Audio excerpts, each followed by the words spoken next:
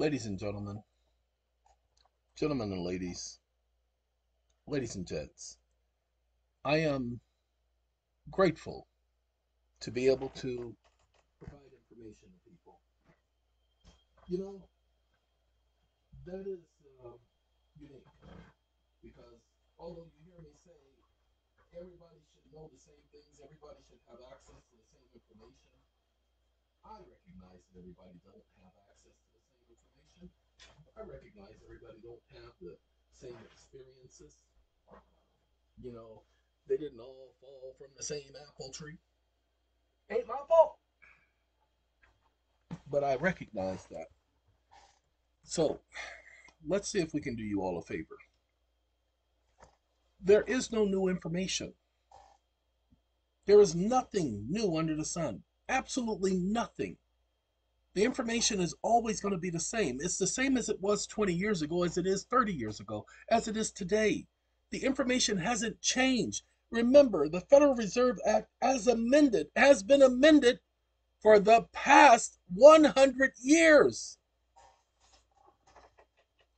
Do you not recall that the Federal Reserve Act is from 1913? It's been the same. The definition of any Federal Reserve agent has been you the whole time. Look, let's prove it to you. Hold on. This is the Federal Reserve Act that we're always talking about. We're going to skip past it because we don't need it to prove the point. We have to skip past it. We're going to go to the second page of this document and we want y'all to see something. Some of y'all already know this, but there are a lot of new booties here that don't understand this document right here. This is President Roosevelt, Franklin Delano Roosevelt. This is called Presidential Proclamation 2039. Presidential Proclamation 2039. Go to the YouTube channel, not YouTube channel, the SACON911.com. Then go to our current PDFs and then type in the New Deal and pull up this document. It's on page 8. It says the use in this order the term banking institution shall include all. Now the word all applies to everything down here.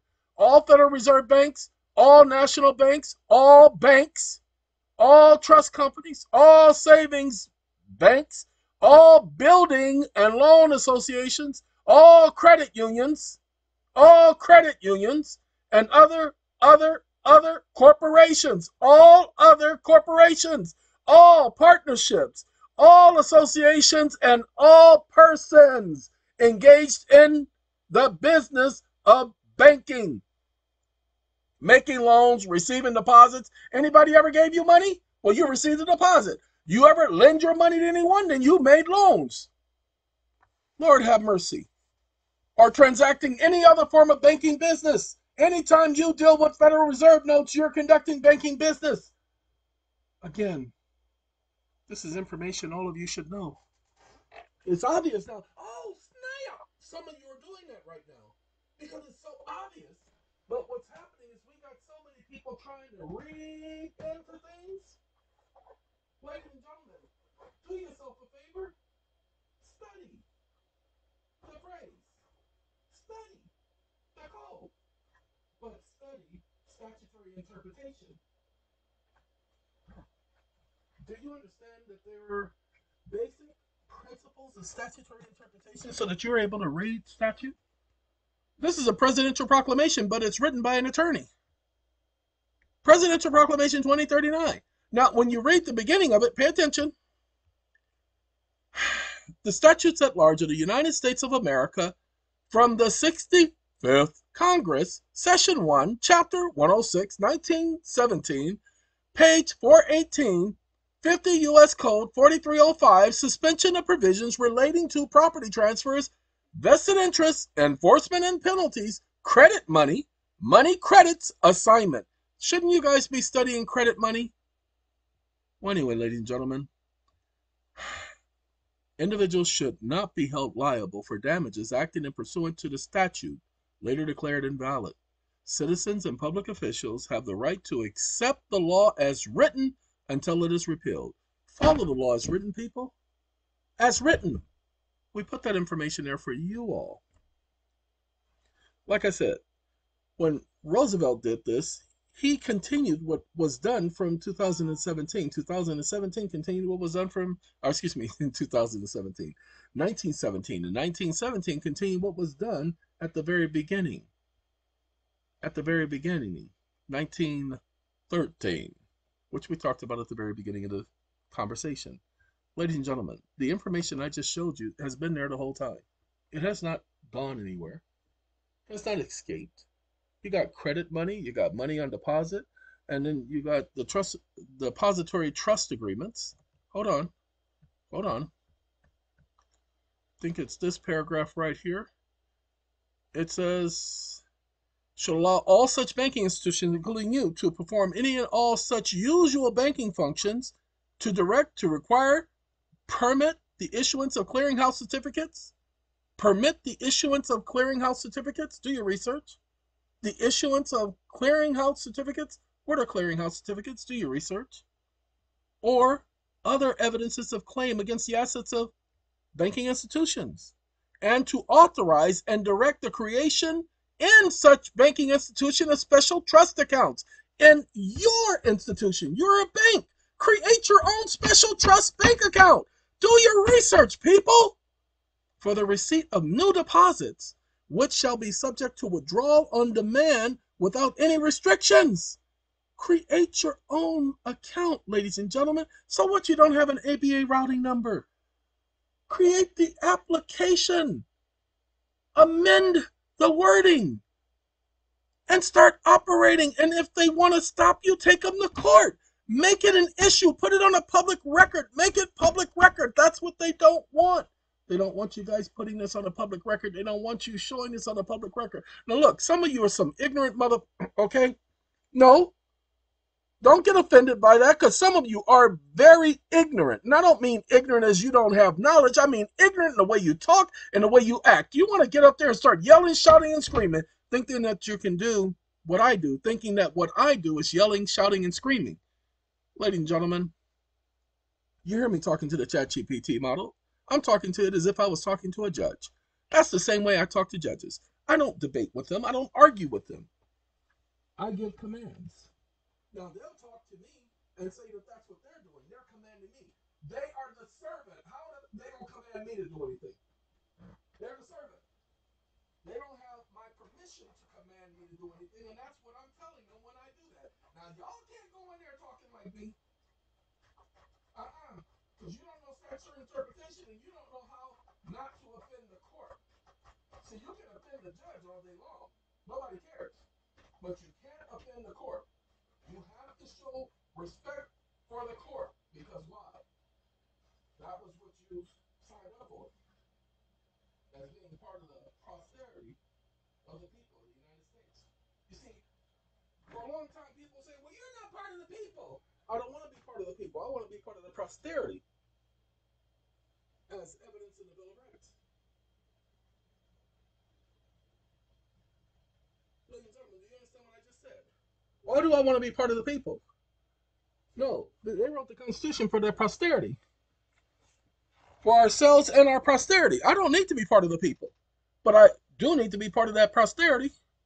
Because I ain't got to prove nothing there. I just have to say I am. Somebody. Okay? I hope that some of you guys are getting the understanding. If you don't, I don't know what to tell you. As I said in the two previous videos, I'm running out of time as far as being able to give you guys information that is clear, concise, to the point. I'm running out of time. There's going to come a time in the near future where I'm not going to be able to communicate. I'm going to lose the ability of communicating effectively with people.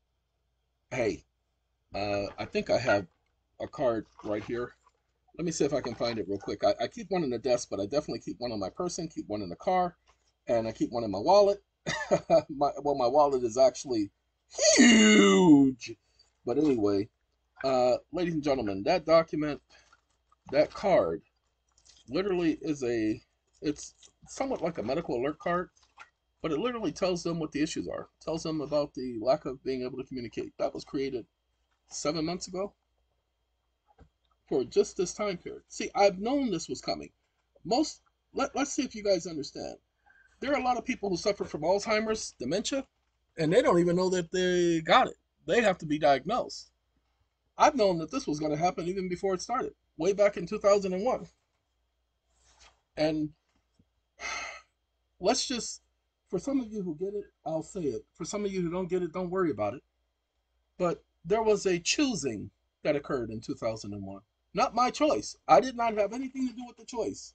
Somebody decided to choose me. And of course, I accepted. And he permitted me to know what was going to be my future. Now, if you let, let me see if I can point it out to you. Hold on a second. I'm going to tell you guys a short story. Those of you who don't want to hear it, you can go ahead and, you know, stop watching because I'm not going to be saying nothing much after this. So you're not going to miss anything. This is uh, Acts, the ninth chapter, verse 11. There's a young man. His name is Ananias. And Ananias is a prophet. And he is going to go meet this young man named Saul of Tarsus. Saul, who later becomes known as Paul. But as he's going to go meet Saul, he hears about Saul. Saul has just got finished standing by, witnessing the murder and condoning the murder of Ananias' friend, Stephen. And now Ananias has got to go and talk to Paul, who is Saul at this time, this murderer because he's the one who sat by approving of the murder, who murdered Ananias's good friend. And now he's got to go talk to him? Here's the conversation. The Lord said to him in a vision, Ananias, and he said, Here I am. The Lord said to him, Get up, go to the street called Straight, and look for a man named Saul from Tarsus at the house of Judas. For look, he is praying. And in a vision, he has seen a man named Ananias come in and lay his hands on him so that he might recover his sight. What had happened? Well, Paul had been chosen. It's a process. Anointed, in other words. And during that anointing, Paul lost his sight. Why? because Paul, well, it's going to explain it in a minute. I don't have to go there. But notice what happens next. But Ananias answered, Lord, I've heard from many about this man, about all the harm that he did to your holy ones in Jerusalem. And here he has the authority from the chief priest to arrest all those calling on your name. But the Lord said to him, Go, because this man is a chosen vessel to me to bear my name to the nations as well as to kings and to the sons of Israel. For I will show him plainly how many things he must suffer for my name. Paul was chosen, and his choosing was in line with suffering. Now, this was not a basic regular choosing, uh, like some people might think. This choosing happened to deal with the second chapter of Acts. So let's go to the second chapter of Acts so that we can cut to the chase. It says, while they were in this upper room, says, now the day for the festival of the Pentecost was in progress. Let's go ahead and highlight it so you can see. The day for the festival of Pentecost was in progress, and they were all together in one place. Suddenly there was a noise from heaven, just like that of a rushing stiff breeze, and it filled the whole house where they were sitting. And tongues, like looking like literal tongues in the person's mouth, as if a fire became visible to them and were distributed. And one came to rest upon each one of them, and they all became filled not chasing the Holy Ghost, filled with the Holy Spirit, and started to speak in different tongues, just like, or just as the Spirit enabled them to speak. Remember, they spoke in different tongues. See that right there? Tongues, languages. That's what the tongues represented, them being able to speak in different languages. How do we know? It says, At that time, devout Jews from every nation, speaking different tongues, under the heavens, were staying in Jerusalem because it was a festival. And they were there for that general assembly. And when this sound occurred, a crowd gathered outside that location and were bewildered because each one of them heard them speaking in tongues. No, in his own language, not some obscure language, blah, blah, blah, blah, blah, blah, blah, blah. And people call that speaking in tongues.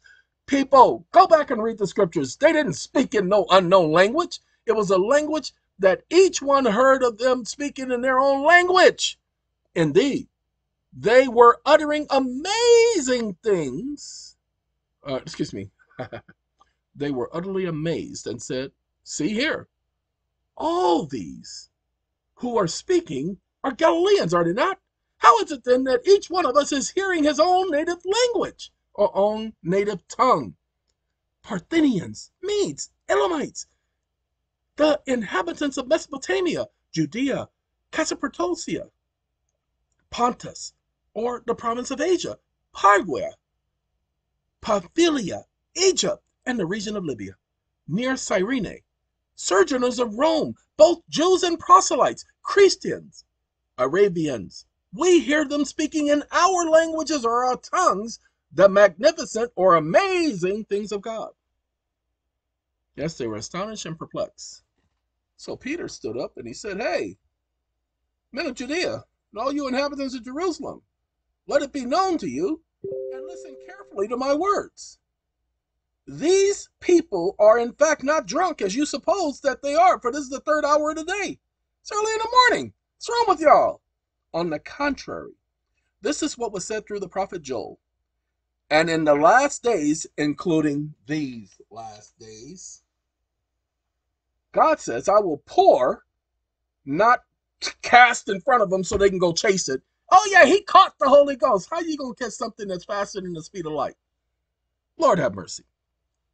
He says he will pour as if pouring into a glass or into a vessel for which he says his servants are he will pour out some of his spirit on every sort of flesh. And your sons and your daughters will prophesy, and your young men will see visions, and your old men will dream dreams. Even upon my men servants, he says, my male slaves and my female slaves, I will pour out some of my spirit in those days, and they will prophesy. And I will give wonder in the heavens above and signs on the earth beneath, blood and fire and clouds and thick smoke. The sun will turn into darkness and the moon into blood before the great and illustrious day of Jehovah comes. And everyone who calls on the name of Jehovah will be saved. Ladies and gentlemen, when that choosing took place, similar to that of Paul, Paul was told the things that he must suffer for God's name. I was told the things that I must suffer. I knew that I would be in jail three times and there will be one final time. That final time, significant time, will be violent. I'm okay with that. I did some stupid things in the past. That's not the reason why I'm suffering. But of, of course, I have to reap what I sow. So just because man does things to help a person reap what they sow, that doesn't mean that they're reaping what they sow. Okay? So I understood and understand. I don't have a problem with it because it's what must be. The fact is, he knows that I don't like that, and we talked. He and I talked about that. I'm gonna tell you guys something that I didn't tell people. I, I in a group. I have told people before. He's allowed me to know that five of my family members would die. Now he knows how much I hate death. I've already told y'all that. Five will die. Don't know when, don't know how, because he didn't give me that. Just five will die. My mother was the first. Now, A, that was 2001 that I was told that. She didn't pass until 2017. See, there were no dates given to me, but I do know at least four more will pass. Now, I have in my immediate, immediate, immediate, immediate, immediate, immediate, immediate, there is still seven brothers and sisters. Immediate, not talking about step brothers and sisters immediate seven brothers and sisters. So when they disowned me, they had no idea that that was a blessing because I don't have to be there to watch that. I don't have to be there to see that. I don't have to be there to know that. I know, I know, I know. Some of you, blah, blah, blah, don't care. This is not your life, it's mine. This is what I must go through. Everything that he has told me, for instance, having a farm. I knew I was going to have a farm. I ain't never had no farm before. How dare you say I'm going to have a farm? And then in 2008, I'm calling my best friend on the phone. I said, I'm getting up every morning, watering the animals, and feeding them every single morning at 6 a.m. and doing the same thing again at 4 p.m.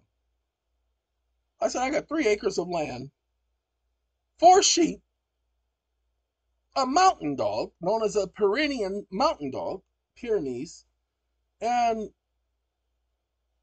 my dog named Freedom, which is my Alaskan Eskimo, three llamas, and I realized I had a farm.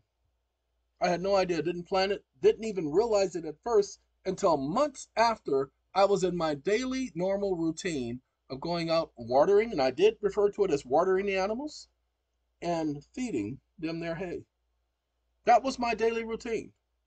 I had a farm, but I was told I would have a farm, and it turned out, without me trying to make it that way, that I had a farm. I was told that I would end up in jail. The first time, 45 days. And that I would meet 45 people, no, 49 people. Let me get that right. I always mix the 40s up. 45 days incarcerated in somebody's jail, and I would meet 49 people who did not know who Jehovah was. I know you're not going to believe this, but the people in the Atlanta jail that I was in, not Atlanta, that was uh that was later. The jail was North Carolina, Charlotte, Sheriff's Department, their jail, their county jail, North Carolina. Our pod of 60 people in the rec yard. 49 people stood there listening to me while I talked to them about the Bible and Jehovah. Didn't force them. I was just having a conversation and they decided they wanted to listen. 49 people who didn't know who Jehovah was. I couldn't believe it. What do you mean y'all don't know who Jehovah is? all Jehovah's all these Jehovah's Witnesses around here, y'all don't know the name Jehovah? And quite literally they didn't. So I spent my time in those two and a half weeks I was at that facility talking to them about Jehovah. Until I spoke with the last person whose mother and daughter, uh, whose wife and daughter were Jehovah's Witnesses. It's just he never listened to them. And he sat and talked to me for an hour. And I told him, I didn't talk to everybody here. You're the only person I hadn't talked to, and I couldn't figure out why I'm still here. And that was the 45th day. That's why I couldn't figure out why am I still here. Because I was told 45 days, and he was the 49th person. I said, I was trying to figure it out last night because uh, it's only 48 people, and there's nobody else coming in. And I realized that you're the only person I hadn't spoke to. And we sat down and we talked for an hour. Nobody disturbed us. Nobody interrupted us. Nobody came over and asked me any questions, which is normal when I'm in an environment like that. People are always coming and asking me questions about their case, or about something else, or about the Bible. I am um, I go through inside a jail facility the same thing I go through out here. And I'm anybody who's ever been around me in there, they know that everybody's always coming to me and asking me questions about the law or about the Bible or about something. And so I speak to him, and five minutes after we close the book, I say to him, You see how nobody came around and interfered with this conversation the whole time we've talked? He says, Yeah. I said, It always happens like that. Next thing you know, they said, Hey, roll your stuff up. You're out of here. 45 people, 49 days, or 49 people. See, I always mix it up. 49 people, 45 days. I was released on the 45th day, exactly as I wrote down what I was told. I literally wrote that down and went back, and none of my property was disturbed. None of my cars were broken into. None of my homes were broken into. There was no problem with the rent or nothing. Didn't have to worry about nothing. Everything continued as it was when I got back. So, ladies and gentlemen, I have faith in the God that I serve, not because somebody gave me faith in him, but because he's proven to be my friend since I was three years old. Now, of course, prior to that, but at that point when I learned his name at the age of three, my God has been my friend ever since. And I appreciate that. Then this last two times, the Puerto Rico thing, you guys, those of you who were around before Puerto Rico, you guys heard me tell you that that was going to happen. That's why I went home when they told me the police are at your home. That's why I ruined the engine on both. Well, I'd already ruined the engine on one car earlier today. The engine froze up on me, seized up on me. I, it was a used car that I bought in Puerto Rico, and then the other one was a Mitsubishi Montero. I'm breaking my neck to get back home, and I'm overheating. And I blew that engine, overheating, trying to get home to meet those idiots who claim that they were there on the warrant. And that situation was only supposed to be short, and it turned out that it was short. And everything in that situation worked out. Learned a lot. But in Puerto Rico, 2013 is when I became aware of the pandemic. And like I said, this wasn't the pandemic I saw. This was a so called pandemic, but this wasn't it. Became aware of the pandemic and became aware of the Israel thing.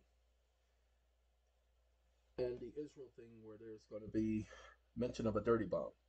Didn't know the extent of it because that was the end of the understanding or uh, some people would call it a vision, but it wasn't a vision because I cannot begin to explain to you how I was there, how I saw it.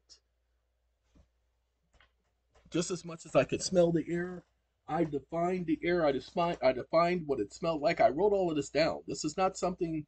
Uh, this was 1,500 pages of documents, ladies and gentlemen. I don't kid you. 1,500 pages of writing of all the things that I was told was going to happen. I can't tell you all of that stuff because it wasn't meant for me to tell you. But I can tell you what I told you just now. So when I tell you I've already been aware of what's about to happen to me. And yes, it's been creeping up and I feel it. I can hear it coming in the air. Well, let me tell you, I see it. And it bothers me a little bit because there are so many things I want to complete. I'm going to get to complete a lot of things, but I don't know because it wasn't clear as if it was going to be after or before. I don't know. I don't know how much more time we have. But I do know that it is necessary for me to get this information out to you guys. I also still have to be careful because I can't throw everything at you can't give you all the pieces of the puzzle that I know because I don't know everything, but I know everything, and that's all that I know. Anyway, I can't give you all the pieces of the puzzle, but I can give you the pieces necessary for you to accomplish something. Why? Because you might as well be able to accomplish something before all of this comes to an end, before the great fear inspiring day of Jehovah, as the scriptures say. I didn't say it. Hold on now.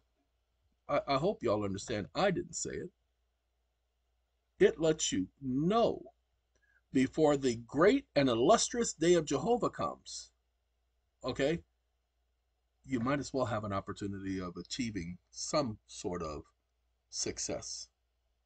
So go back, listen to the series on empowerment. We're going to continue that series next week, but listen to that series. Now, look, I'm about to go take my sleeping pill. I'm going to take two of them because I really do need to get some sleep and I'm about to go to sleep. I'm not answering nobody's door. I'm not being bothered with nobody. I'm these are natural sleeping pills, so I ain't overdosing. But I'm about to go and get me some rest because I just did a consult with somebody. He has had three lawyers handling his case. And he had one lawyer told him, Well, you you barred, you can't do this no more and you can't do that. And I said, He's a liar and I used the ChatGPT models to prove that he was a liar, that the attorney had lied to him. The attorney hadn't actually told an all out, flat faced lie. The attorney told him the truth, but what he didn't do is give him the caveat as to why. And so I gave him the caveat. And I said, I just heard your case today. You just explained to me what was going on today. And because you just explained what was going on today, I was able to provide you an answer, an answer your attorneys didn't even provide you that they should have provided you. I said, so now you get to go and take this back to your attorney since he wants you to pay him, and you get to explain to him why you are not going to be paying him. Do your job, homie, and then you'll get paid because that's our agreement. But ain't nowhere in the world I'm going to pay you for not doing your job. You must be out of your mind. Ladies and gentlemen, I'm not the greatest. I just know what I know. And what I know, all of these attorneys should know. But I've told you too many times about attorneys that come to me and tell me how they want me to work for their law firm because they don't think like me. That's not my fault. Hey, I gotta go. But y'all take care of yourselves, okay? Goodbye.